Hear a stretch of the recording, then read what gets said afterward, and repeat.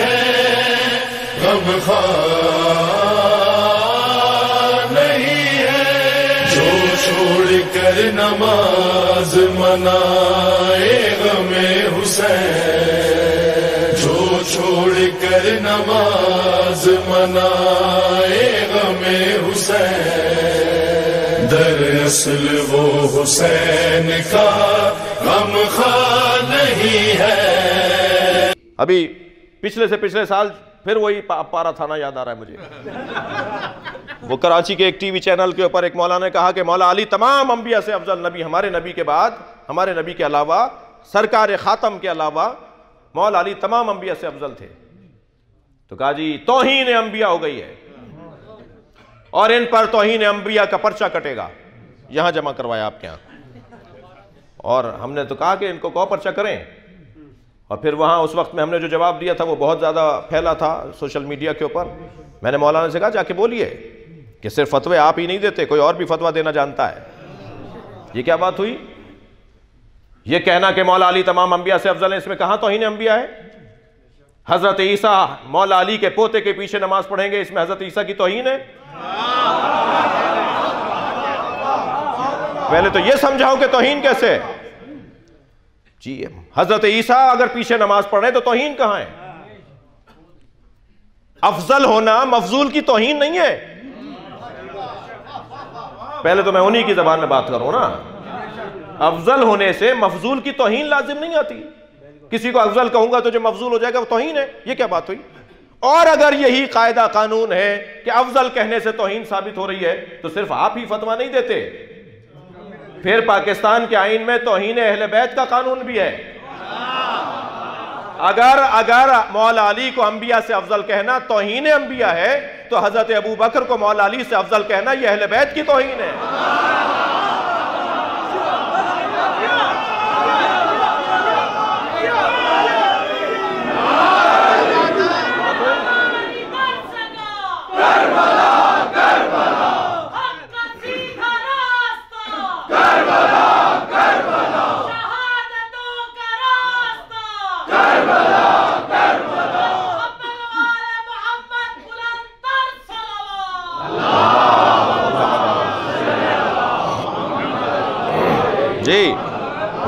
बात दलील से होनी चाहिए। या दलील दो, या दलील लो। और उसके बाद जब बहस मुबासा तकरार, जिद्दियत तो फिर गैब से मदद। और गैब से मदद मांगने के लिए अल्लाह का वही बंदा वही बंदा अल्लाह से मदद तलब कर सकता है, मंगवा सकता है। तलब तो हम सब करते हैं। मंगवा वो सकता है कि जिसके पास अल्लाह का कौरब हासिल हो। कुर्ब इलाही हासिल हो। जी, या आली मदद मैं बोलता हूँ। चाह रहे हैं कि मैं एक दलील दे दूँ। या आली मदद मैं बोलता हूँ, यानी हम बोलते हैं, आप बोलते हैं, हम सब बोलते हैं। और जो नहीं बोलते, उन्हें मन, बुलवाना भी जानते हैं। मैं मक्के में हरम इलाही से अपने होटल की तरफ़ जा रहा था, हुजूर। तो दो मिस्री बराबर से गुजरे। इसी हुलिये में रहता हूँ, अहल बैत के मकतब का नौकर हूँ। आप सब का नौकर हूँ, आप सब का नौकर हूँ। और कोई इतनी मोटी किताब तैयार हो जाएगी जो सफ़रों में मुलाकातों में गुफ्तु हुई है ना? जो कोई ना कोई बराबर में तो ज़रूर बैठता है। जी खड़ा होता है बैठता है चलता है फिरता एयरपोर्ट्स पर। तो वो कहते हैं आप शिया मौलवी आपसे सवाल कर लूँ? तो मैं पहला जवाब तो ये देता हूँ कि मैं पहन के इसलिए फिर रहा हूँ कि आप सवाल कर हैं। हम, हम हमारे बारे में खुद से फैसले करते हैं। हमसे नहीं पूछते। हमसे पूछिए ना हम ये क्यों करते हैं वो क्यों करते हैं? अल्लाह का काम भी बड़ा निराला है। जो नज़र न्याज को नहीं मानते ना, वो मक्के से जमजम ला के ज़रूर बांटते हैं। अल्लाह खूब जानता है मनवाना। जो कब्रों पे जाना बिदत बोलते हैं ना, वो काबे के साथ हतीम का तवाफ भी करते हैं। हतीम काबा नहीं है, मगर उसका तवाफ वाजिब है। जी, हतीम क्या है? हज़रत इब्राहिम, हज़रत इस्माइल और हज़रत हाजरा की कब्रें। हैं कब्रें रमानों में तवाफ करवाऊँगा। अल्लाह का काम देखिए, अल्लाह के काम बड़े निराले हैं। अल्लाह का तरीका बड़ा मुनफरद है। खाना काबा को गिराने के लिए हाथियों का लश्कर आया था। हाथियों के मुकाबले अगर अल्लाह ने हाथी भेजे होते तो हाथियों की ताकत को तस्लीम कर लिया होता। अल्लाह ने हाथियों के मुकाबिल हाथी नहीं भेजे। अब अबील का लश्कर। छोटा सा परिंदा। मेरी और आपकी मुट्ठी में आ जाए। चौंच कितनी बड़ी होगी? कंकर कितना बड़ा होगा? हाथी की खाल कितनी मोटी है? इतने कंकर मारे कि हाथी जख्मी हो होकर सवारों को गिराने लगे। और कुरान ने पुकार के कहा वार सलाम तैर नबाबील हमने असहाब फील पर एक तैर, एक परिंदा भेजा जिसका नाम अबाबील है। जितने कंकर फेंके, कोई खता नहीं जा रहा था। इसलिए कि भेजा हुआ परिंदा है। भेजा हुआ जानवर भी हो तो गलती नहीं करता ये दिल खोल के उच्चा बोल के अपनी पैदा करने वाली माँ को गाना बैनर पेश करके उच्चा नारे है माशाल्लाह माशाल्लाह। मैं जो काम कर रहा हूँ, आप जो काम, हम बताएँगे ना, हम क्या कर रहे हैं? क्यों कर रहे हैं? क्यों क्यों कर रहे हैं भाई बच्चों को काट के खिला रहे हैं? तो कोई एक तो रावलपिंडी का बच्चा गुम होता। शिया हजरात बच्चों को ज़िबा करके गोश्त पकाते हैं। तो कोई एक बच्चा तो गुम होता रावलपिंडी में। आज तक कोई एफआईआर कटी कि मुहर्रम आए, चार बच्चे गुम हो गए। क्या बातें कर रहे हो? पुरानी बातें घिसी पिटी बातें, जाहिलाना गुफ्तगू। अब दौर बदल गया। अभी तुम्हारी बातें चलने वाली नहीं है। अब ये बात नहीं चलेगी कि मजलिस में ना जाना। न्याज खाना बेदत है। नहीं, रंग बदल गया है। मुस्तकबिल तशैयो का है। कल हमारा है। दलील से बात करो तो ज़िंदा रहोगे। दलील से बात नहीं करोगे तो मिट जाओगे। डेढ़ मुल्क से ज़्यादा नहीं है छप्पन ममालिक के अंदर हम लोग। सिर्फ़ डेढ़ मुल्क हैं हम, पूरी छप्पन इस्लामी ममालिक के अंदर। मगर डेढ़ मुल्क छप्पन ममालिक पर हाकिम है। एक जलाल, एक रोब, एक किरदार। ये कैसे हो रहा है? ये अहले बैत की वजह से हो रहा है। ये हम उनसे जुड़े हुए हैं कि जो हमें इज़्ज़त अता कर रहे हैं। और अल्लाह ने तय कर रखा है कि इज़्ज़त बेनामे अहले बैत है। जो भी इनसे जुड़ेगा, साहिब इज़्ज़त होता चला जाएगा। दलील से बात करो, ये क्या बात हुई कि नहीं जाना, नहीं सुनना, आलम को देखोगे तो निकाह बातिल हो जाएगा? जी। अगर अहले सुन्नत के पीछे नमाज़ पढ़ लें तो अब सवाल हो रहा है कि वो जिसने नमाज़ पढ़ाई है, उसकी नमाज़ भी ठीक है या नहीं? तो माकूल बनो भाई। जी, लाहौर में एक मंजर बना ना एक अहले सुन्नत के आलिम ने आगे पढ़ पढ़ के नमाज़ पढ़ाई, पीछे सुन्नी शिया शिया भी और सुन्नी भी खड़े थे। तो अब उन पर एतराज़ हो रहा है कि आपकी नमाज़ बातिल हो गई क्योंकि शिया पीछे पढ़ रहे थे।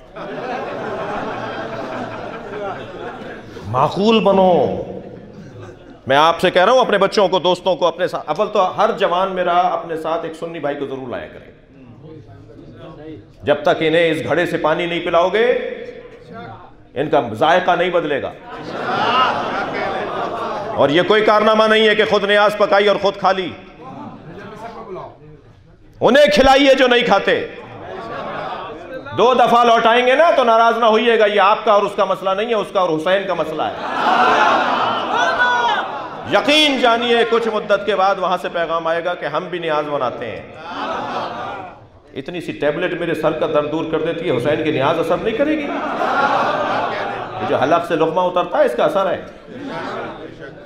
वसत कलबी के साथ से सदर के साथ अजीज़ों जानों भाइयों के साथ रहते हुए। आयतुल्ला सीस्तानी फरमाते हैं सुन्नी हमारे भाई नहीं है सुन्नियों को भाई नहीं कहो सुन्नी हमारी जान है। सुन्नियों के साथ हम रहते हैं सुन्नियों के साथ हमारी दोस्तियाँ हैं ताल्लुकात हैं स्कूल कॉलेज इदारों में हम सब साथ साथ हैं महल्ले गली कूचों में हम साथ हैं। ये कहकर जान नहीं छुटेगी कि वो चाइना वाले सांप, बिच्छू और चिमगादड़ का सूप और कुत्ते बिल्ली खा रहे हैं तो वो कोरोना वायरस का शिकार हो गए। खाया किसी और ने था? बीमारी तो आपको भी लगने को है ना? अब समझ में आया कि हुसैन को कत्ल करने वाला भी जहन्नुमी है खामोश रहने वाला भी जहन्नुमी है बुराइयों के खिलाफ चलिए। सलवार पढ़े मोहम्मद आलम।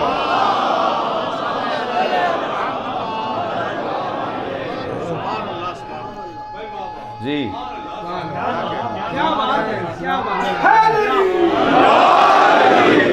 अब वो तो जी, वो तो गैर मुस्लिम है, वो कुत्ते बिल्ली खाते हैं।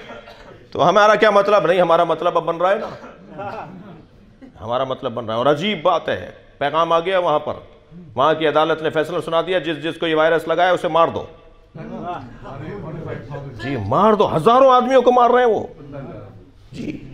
अब ये कहकर, या मैं जान नहीं छुड़ा सकता कि जी वो तो शरीयत को नहीं मानते। नहीं, शरीयत का मुखातिब इंसान है, मुसलमान नहीं है। सबको हमें पैगाम देना होगा। मेरा खामोश रहना मुझ तक पहुंचेगा। जी, तवज्जो कर लिया आपने? तो बुलाइए इनसे बात कीजिए, इनसे गुफ्तगु कीजिए, और अल्हम्दुलिल्लाह गुफ्तगु की गुफ्तगु की जो कैफियत है वो बेहतरी की तरफ़ है। लोग समझने के मरहले में दाखिल हो रहे हैं, कल से आज बेहतर है हमारा। माजी से हम आज बेहतर हैं और मुस्तबिल और बेहतर होगा। और आगे बेहतरी की तरफ़ हैं। ालिम का आज होता है, मजलूम का कल होता है। अपने कल की तैयारी करनी है और कल की बुनियाद पर ही तो हम मजलिसों में बैठे हैं। नमाज़ पढ़ते हैं कल की उम्मीद पर। रोज़ा रखते हैं कल की उम्मीद पर। हज करते हैं कल की उम्मीद पर। जी, सब जमा होकर बैठे हैं कल की उम्मीद पर। मजलिस में बैठे हैं कि खबर अच्छी हो जाए। मजलिस में आते हैं ताकि आखरत अच्छी हो जाए। हम सब कल की उम्मीद पर आए हम सब कल को देख रहे हैं। तो आज ऐसा बेहतर कर लें कि कल और बेहतर हो जाए, कल यकीनी हो जाए। तवज्जो कर ली, कट हुज्जती अल्लाह को पसंद नहीं है। और फिर अब मुबाहिला होगा किरदार की बुनियाद पर। सदाकत किरदार को कहा जाता है, सच्चाई किरदार को कहा जाता है। मैं इन बच्चों और जवानों से कहूँगा, खबरदार, झूठ बोलना छोड़ दो। वो अहले बैत का चाहने वाला ही नहीं है जो झूठ बोलता हो। मेरे पास अथॉरिटी नहीं है कि मैं इजाजतें देता फिरूं, लेकिन मैं बहुत धीमे लहजे में कह रहा हूँ, नमाज़ नहीं पढ़ते। आगे बढ़ो। रोजा नहीं रखते, आगे बढ़ो। जी, हज पे नहीं गए 20 साल से हज वाजिब है, देखते हैं। मगर झूठ बोलना छोड़ दो। सरकार की खिदमत में गुनहगार तरीन फर्द आया। या रसोल्ला बुराइयों में घिरा हुआ हूँ। सारी बुराइयाँ एक साथ नहीं छोड़ सकता। एक बुराई बता दीजिए जिसे छोड़ दूँ। इससे ज़्यादा नहीं कर सकता। हज़रत फरमाया, झूठ बोलना छोड़ दो। बस एक बुराई छोड़ दो, झूठ बोलना छोड़ दो। जी, दूसरे दिन चोरी करके निकला। सरकार ने फरमाया था, रोज़ाना आना मेरे पास। दूसरे दिन चोरी करके निकला, रास्ते में एक आदमी पर थप्पड़ मारा। चलते हुए एक आदमी को तकलीफ़ दी। आगे बढ़ा कहा रसूल ने पूछ लिया कि आज तुमने क्या किया है? और मैंने कहा कि मैंने कुछ नहीं किया तो झूठ बोलूँगा, नबी ने तो कहा, सच बोलो। दूसरे दिन फिर वो गुना तीन और कम हो गए। चौथे दिन और कम हो गए। एक हफ़्ते में नबी की खिदमत में आके कहा, झूठ नहीं छोड़ा, सारी बुराइयाँ छुट गई। बैत का चाहने वाला झूठ नहीं बोलता। जी, जो सच्चों का नारा लगाता हो कि हम सच्चों के दरवाजे पर हैं, वो झूठ बोले। मैं इन बच्चों और जवानों से कह रहा हूँ, अगर इस, शायद एक डेढ़ हज़ार आदमी इस वक्त यहाँ पर मजलिस में है, शायद ज़्यादा हूँ। अगर पाँच बच्चों ने भी इमाम हुसैन से वादा कर लिया कि आज मैं आपकी मजलिस में वादा करके जा रहा हूँ आप झूठ नहीं बोलूँगा तो कितना खुश होंगी सैयदा। इसलिए